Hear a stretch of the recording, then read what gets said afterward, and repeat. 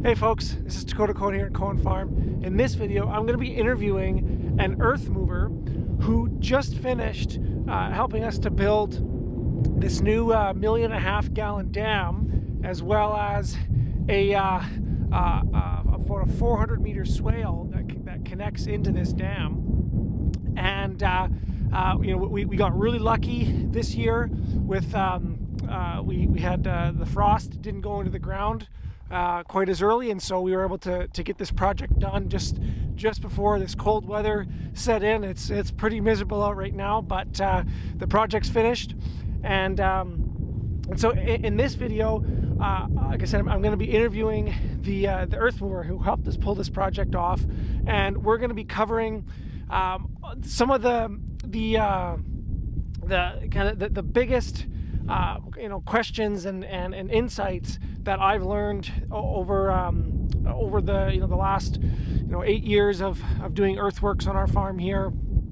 And uh, this particular earth mover, he, it's the first time I've ever worked with him. Uh, his name's his name's Tyler. He's, he's a young guy about my age, uh, who who's been you know running excavators and, and bulldozers and and graders and stuff basically from the time he could walk and so he's he's he's he's young like me, but he he knows he, he knows his stuff. He's a fantastic operator, and um, he I learned more from him in just you know on this one project building this dam and this swale than I than I have from you know working with all my other earth movers and you know and, and even taking know courses and stuff from from Geoff Lawton and watching all those videos online. So there's a ton of insights packed into this in this video. We're going to be talking about things like um, how to like you know going over the basics of of machines. So you know like what what are the uh, what are all the different types of, of, machines that you might use you know bulldozers excavators um, uh, you know rock trucks uh, graders what they're good for what they're not good for um, how to size the appropriate size of machine because within each of those categories you can have you know huge variations in size. You know you can have a d3 bulldozer that's got like a 60 horse you know motor in it or you can have you know a d6 or d7 or d8 even or or sometimes even even you know bigger machines that have you know 100 100 horsepower or several hundred horsepower engines. So you know how do you how do you figure out what size of machine to use for your job? Uh, we're going to be talking about some of the uh, how to communicate your designs to your earth, earth movers so that they know what you want uh, some of the, the biggest mistakes that I've made, well, some of the mistakes that I've made is is just the, the, the biggest failures in some of my earthworks projects that I've done on, on my property and some of my clients has just been in a failure to communicate what it is I was actually wanting uh, my earth movers to, to build. Uh, we're going to be talking about um, how to you know design things really efficiently. Uh, we're just going to touch on it in this video. I'm going to do another video later on that goes into a lot more detail about um, how to how I've started to kind of design out some of my earth earthworks and uh, you know sightings, where to where to put a swale, um, uh, where to put a dam, stuff like that. But in this video, it's going to be just pretty high level.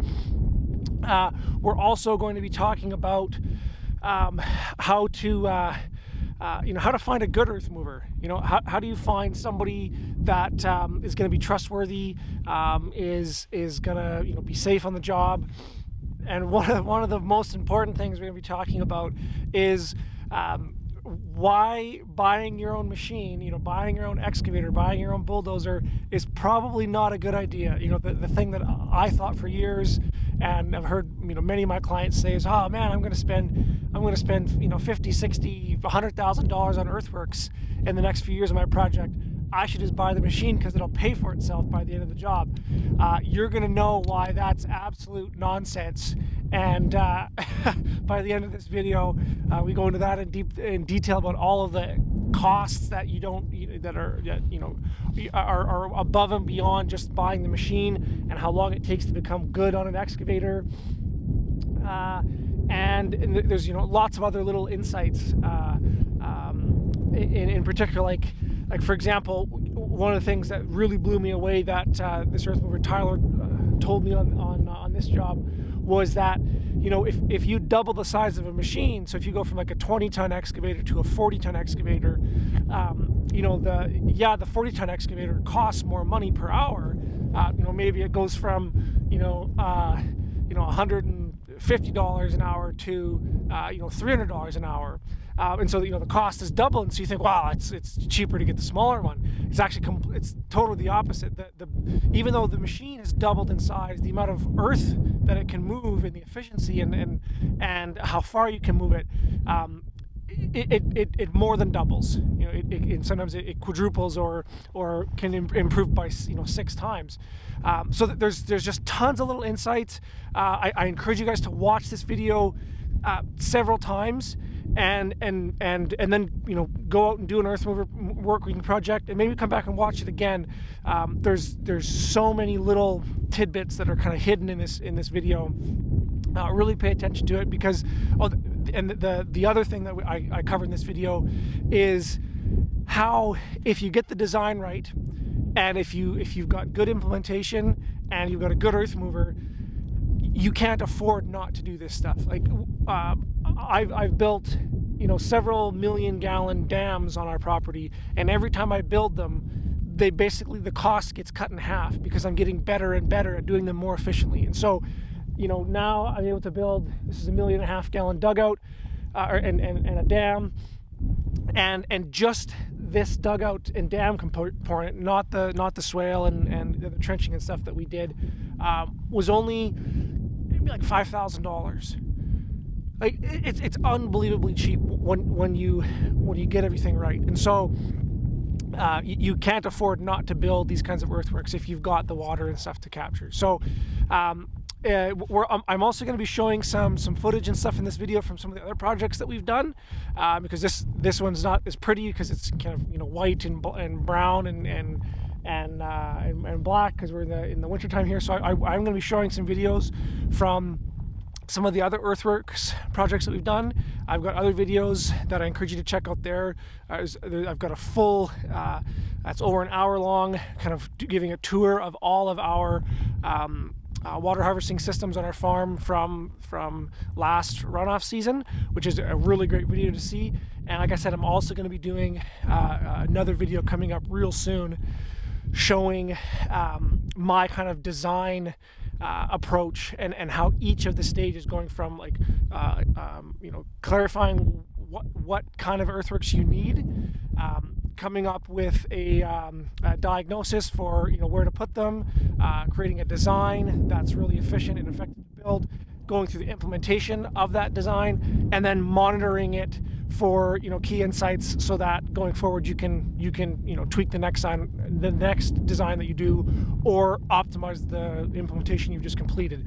So i'm gonna that video is gonna be coming out right away but uh, um, this one is is fantastic. I, I hope you guys really enjoy it and i look forward to hearing some of you guys' questions and comments. All right let's get into it. So the first place i'd like to start is could you kind of go through the uh, the different kinds of machines that most people would be using on a project uh, you know like like we just did where you you know building some kind of a dugout or a pond or a dam or a swales like what what are the different kinds of earth movers and when would you want to use one kind versus the other? Yeah big question. Um, okay so most common ones are going to be graders cats scrapers and trackhoes yeah. Um, um I think we touched a little bit on rock trucks. They could be involved. Uh, extremely high cost though, because you need it. The so how do you want to work it? Do you want to go from least amount of cost and or to highest amount of cost? Yeah, I, yeah, that that'd be a great. And then yeah, t- talking about where. Um, like where they're really good, like in terms of like you know these ones are good for like short distances versus yeah. if you if you're moving dirt a little bit longer. Yeah. Okay, so cost uh, per cubic meter basis kind of thing. Yeah. Um, Trackhoes uh, for short distances, obviously going to be the cheapest by a long shot because cat cats end up uh, undercarriage kills them. Uh, even a D6, you're 23 to 30 dollars an hour depending on what kind of air, undercarriage you got underneath it just in undercarriage costs without mechanical. Without, Twenty to thirty dollars an hour. Yeah. Just in maintenance. Yeah. Wow. Uh, and, and, just for, for folks who aren't familiar, what is the undercarriage of a? Um, so it'd be pads, rails, rollers, carriers, sprockets, idlers. Yeah. So it's, it's like the, the track component that yeah. you see on, on all in all machines or yeah. the like trackhoes, bulldozers. They've yeah. all got that undercarriage component. Now that would be a D6, which is a high drive. Um, and then your conventional drives get better. Uh, get better um, uh, cost per hour, and, but uh, that's just a manipulation on mechanical uh, mechanical side. Um, and then once you so yeah, short distances cats are really good up to 100 yards. Uh, after that, it becomes um, you'd be into scrapers. Uh, cats and trackhoes work well together, but trackhoe will run far less per hour than a, a cat of a similar horsepower rating. Um, so Interesting. So the the cat will outproduce the hoe. That- uh, depends. Not usually is, though. is, So, is it the other way around? yeah, So uh, the, the hoe the hoe can move more dirt per hour Yeah. than the cat can. yeah. Interesting. Yeah. Usually it's just on how far. Like if you have to handle the material again and again, and then how you push. So like a cat, whereas a hoe can bucket it and swing. Right. Your uh, your cats will have to trough, and you have to actually properly trough. Yeah. Uh, otherwise, uh, you showed me some videos there where guys will push the windrow, right? Yeah. And that you're just pushing dirt over and over and over again. You have to keep it on your blade and carry it. Yeah. And a dozer doesn't actually. A lot of people misconceive. One of the most common things I even see with dirt movers is they'll they figure that as soon as your material is rolling on your blade, you're pushing. Yeah. You're actually picking up, and you're burning undercarriage, you're burning fuel, you're burning time. Yeah. Uh, it's supposed to, dozer is designed to pick up and carry out. Yeah. That's it. Yeah, because and and that's the thing is like because if, with in a situation like that you're you're digging into com- material you've already compacted Exactly. and and you're you're working it over and over again, and so I mean I guess maybe before we even go into the machine like all the different machines like the the the core principle of earth moving is like the the, the farther you have to move it, the more cost, and the more times you have to move it, the more cost. Yeah, three main rules, right? You only move it once if you can. Yeah. Um, you move it as cheaply and as quickly as possible. Yeah. And then um, you, you you spend the least amount of money, like uh, getting your equipment there, your overall cost management, right? Yeah. So uh, Yeah. you bring a big enough piece of equipment too, uh, which we were talking about before. Yeah, yeah, and- and we'll we'll cover that in uh, again here. So the now with with those those kind of like three main principles for earth movers. Yeah, now we, we've talked about so you know cats are really good for like hundred yard pushes. Yeah. If you're moving dirt within that distance, they're that's kind of optimal. Uh, whereas As an long as ex- you don't have to dig. yeah, as, yeah, as long as you're not digging. Where was it? Where would an excavator be really useful? Or Uh, Trackhoes are uh, great for loading and uh, digging. Um, they're going to be shorter though. They're going to be, you know, 30 yards, Yeah. 40 yards, somewhere in that range because they have to handle it so many times. yeah, Uh, and then anything over 80 yards, you're into. You'll see a lot of guys try and do the rock truck and scra- uh, rock truck trackhoe, and because it has to be a combination. So rock truck trackhoe and cat. You need one to spread. You need one to don't yeah. yeah, and you need one to pick up, right? Yeah. So you you've got three guys running Yeah. instead of one with a scraper. Yeah. Right. And Oh, so, okay. but your scrapers have a disadvantage too because they can't load worth a damn. Yeah. Um, so you either have to have a trackhoe loading them or a cat pushing them. Now they're quick, but they also cost a lot of money. The most actually the most expensive part of a scraper that not a lot of people know about is actually the neck. The neck where the joints there. Yeah, where pivots. Yeah. Yeah, where it steers from. That is actually the line boring is what runs the cost there. Interesting. Um, by far, yeah. The tires, everybody looks at the tires and they're like, "Hey, tires are eight thousand dollars. Like, oh my god, you have a flat, and it's like, no, that's that's the least of your worries. You blow a tire, like you get good good life usually out of the tires, but um, it's the neck, the rebuilding, the maintenance. That's kind Yeah, uh, and uh, so the um, that's we'll, we'll we'll cover kind of maintenance of all the machines in a, a bit later, but uh, I think that's a the the one we missed was a grader. Where Yeah. where would a grader be useful? So graders are great. Actually, they'll move dirt cheaper than a cat. The problem is graders, they'll slope up to three to one. Cats will slope up to two to one. Hose will do a one to one. Yeah. Um, but a grader has limits in material, uh, like so they don't do well with rocks, and they don't Yeah, they don't sh- load in a short period of time, so they take a little bit more time. They're designed to work in one inch and you know Yeah. two inch increments, whereas a cat can bulk out. Yeah. Um, graders still bulk very cheap uh, because they don't have the undercarriage costs, um, but they do have limits with wetness and material. Like if the material's damp yeah, and they're spinning, mm, then you might have to switch to chains. There's other little things you can do, but they don't run optimally in wet material. Yeah. And um, but they will push a long ways. They will bulk. Um, you want to sit, but you wouldn't want anything underneath 200 and 225 horse, something like that. um, that would be the smallest I'd ever run, anyways. Too. Yeah. They're uh, you can get them all the way up to like a 16, which is I think 400 horse. Okay. Yeah.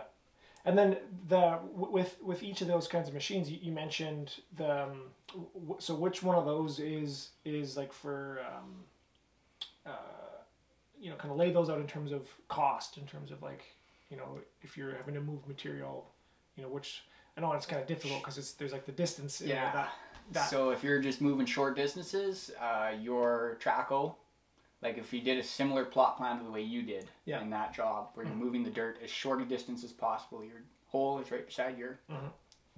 then yeah, Trackhoe. Um, simply because you're not moving the material very far, and you can do it in a fair number of swings. We were also able to use a fair size Trackhoe to do it.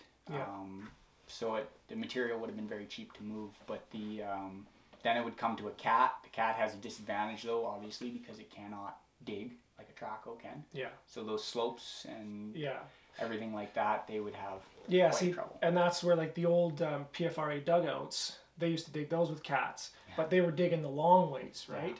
And I think, I mean, from the guys that I've talked to who had them dug with those, you could do a million gallon dugout in a day.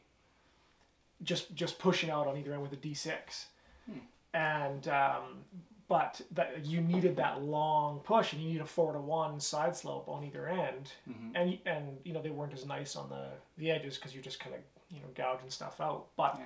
that that's where with with the design that we were going with because you know the dam was this way and my hole was this way as well it wasn't didn't work versus if i wanted to use a cat i'd have to push out this way and then turn and then spread everything and so it, it wasn't it wouldn't have been an efficient No. thing no. to The funny thing is, guys still liked uh, the older generation.